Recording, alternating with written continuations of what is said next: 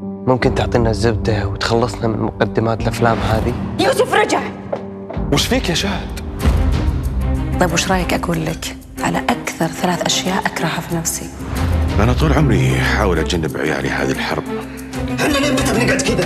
عيال عمك يقتلون ويذبحون ويسوون أي شيء عشان مصلحتهم. الميراث. يوميا الخامسة والنصف بتوقيت السعودية. على الام بي سي 1 رمضان يجمعنا